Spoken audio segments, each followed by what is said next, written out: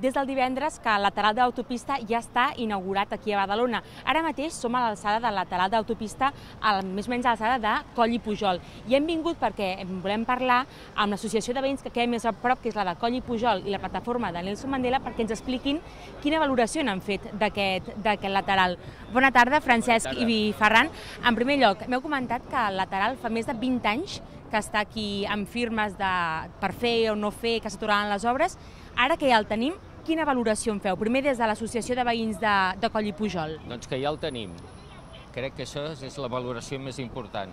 Hi han coses per arreglar, perquè hi han afecta molts de barris, sobretot a tota Badalona, hi han trossos que crec que cal millorar, però d'entrada crec que és una valoració positiva, encara que cal puntualitzar dues coses. Quan el càmera giri i vegi el que hi ha allà al darrere, això és el més important de tot. Això, aquest mur, no, aquest uh, mur Francesc? divideix Badalona. Hi han dos Badalones, o més, però la de part de baix i la part de dalt. Això es té que treure. I l'altra cosa important és acabar l'últim tros que falta. Esperem que el govern municipal que ha sortit ho acabi abans de que acabi el mandat. És molt important per la ciutat. Mhm. I Ferran, vosaltres, des de la plataforma eh, Mandela, també una demanda de feia molts anys al lateral, ara que està acabat, només fa, fa pocs dies que l'heu pogut gaudir, ja heu vist si us afecta positivament, si veieu alguna cosa que, com en Francesc, alguna cosa que s'hauria d'arreglar en els propers anys? Mm -hmm. Home, positiu és, perquè portem 23 anys vivint aquí a la zona del Parc Nelson Mandela i estaven reivindicant tot un camí de terra que n'hi havia ple de batxes per poder arribar aquí al centre de Badalona, que l'única sortida que teníem era direcció Col i Puyol. No podien sortir ni cap a Martí Puyol, vull dir, ni caminant ni en cotxe, en vehicle. Ara és una millora perquè vens per l'autopista, per al lateral, surts a la sortida centre, vas a Martí Puyol, gires i ja entres al carrer Mitjor i ja estàs a tota la zona aquella. No? Una zona que estava una mica abandonada.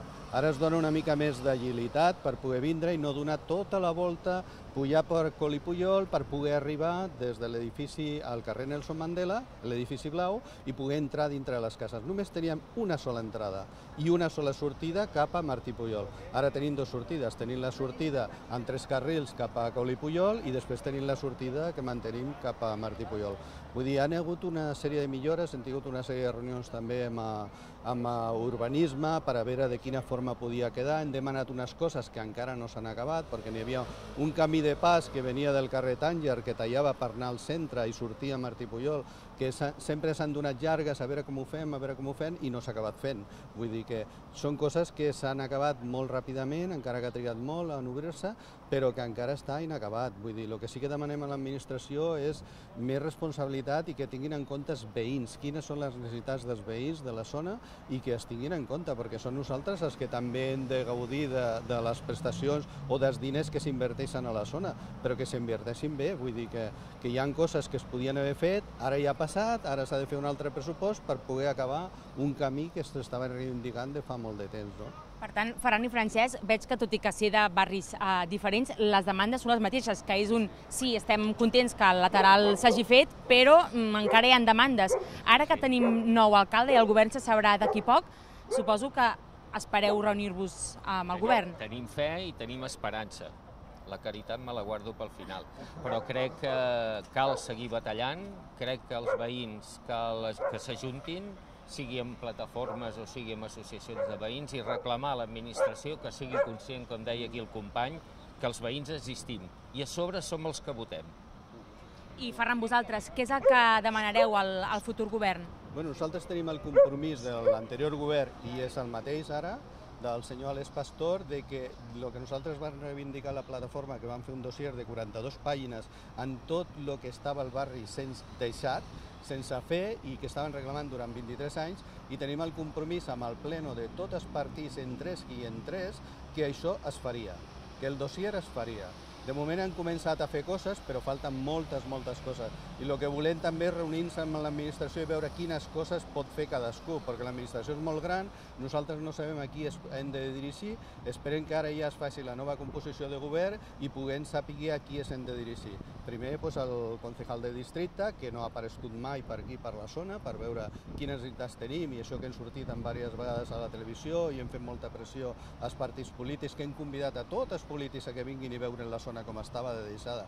Hi ha un precipici entre el carrer Tànger i el carrer Martí Puyol d'uns 10 metres que no hi ha cap valla ni res, ho hem reclamat sempre, encara no s'ha fet res, tots els partits polítics han passat per allà i ho han vist, encara ningú ha fet res, vull dir, jo no ho entenc. Esperem que hi hagi una desgràcia per poder moure'ns, és que no, no pot ser.